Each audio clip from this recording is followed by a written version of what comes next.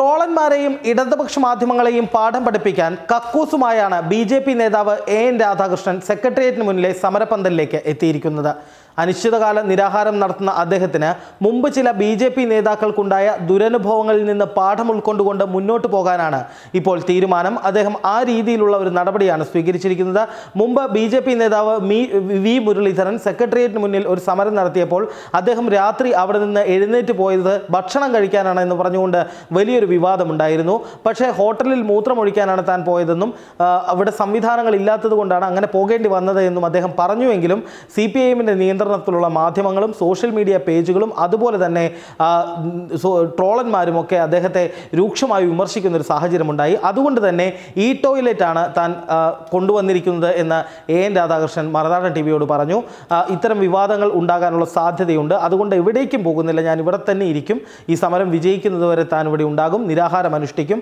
അതുകൊണ്ട് താൻ ഇവിടുന്ന് മാറി എന്ന് പറഞ്ഞുകൊണ്ട് പോലും വിവാദം ഉണ്ടാകാതിരിക്കാൻ വേണ്ടിയാണ് ഈ ടോയ്ലറ്റ് സമരപന്തലിന് സമീപത്തേക്ക് കൊണ്ടുവന്നിരിക്കുന്നത് എന്നാണ് അദ്ദേഹം വ്യക്തമാക്കുന്നത്.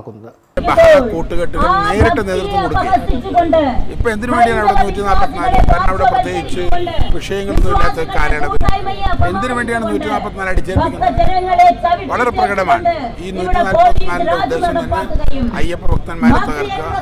ലോകത്തിന്റെ വിവിധ ഭാഗങ്ങളിൽ നിന്ന് വരുന്ന അയ്യപ്പന്മാർക്ക് ആശങ്കയുണ്ടാക്കുക ആ ആശങ്ക വഴി ശബരിമല പൂങ്കാവനത്തെ തകർക്കുക. വിശ്വാസത്തെ തകർക്കുക. അതാണ് പിണറായി വിജയന്റെ ശ്രമം. തീർച്ചയായും ആ ശ്രമത്തിനെതിരായിട്ടാണ് ഈ അനിശ്ചിതകാല നിരാഹാര സമരം. അതോടൊപ്പം തന്നെ എന്റെ പ്രിയപ്പെട്ട സ്നേഹിതൻ ഞങ്ങളുടെ സംസ്ഥാന general secretary Shrimati K Surendran ജയിലിലിരിക്കും കേട്ട് കേൾവിയില്ലാത്ത രീതിയിൽ ഒരു ജനാധിപത്യ സമൂഹത്തിന് ഒരിക്കലും അംഗീകരിക്കാൻ കഴിയാത്ത പത്ത് പതിനാറ് ദിവസമായി ചെറിയ പെറ്റി കേസുകളുടെ പേരിൽ കേടത് കോടതി വരാന്തകളിൽ മുഴുവൻ കൊണ്ടുപോവുക. ജയിലിടുക ജയിലിലിട്ട് പീഡിപ്പിച്ച് കൊല്ലാൻ വേണ്ടി ശ്രമിക്കുക.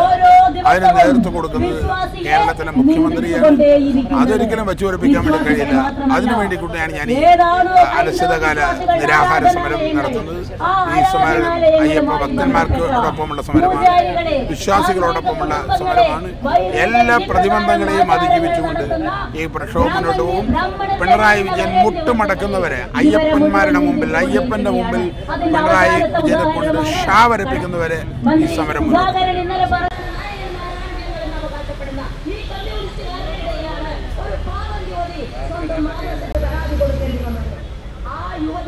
പോകും. ഘോരം പറയുന്നത്. എവിടെയാണ് സർ പിണറായി? സ്ത്രീകൾക്ക് സ്വാതന്ത്ര്യം. ശബരിമലന്റെ വഴികൾ കല്ലിട്ടടച്ചുകൊണ്ട് ക്രൂരവും വീര്യവുമായ രീതിയിൽ പോലീസ് രാജ് നടത്തിക്കൊണ്ട് ഭക്തജന വേട്ട നടത്തിക്കൊണ്ടിരിക്കുകയാണ് ഇവിടുത്തെ ഇടതുപക്ഷ സർക്കാർ. ഇടതുപക്ഷ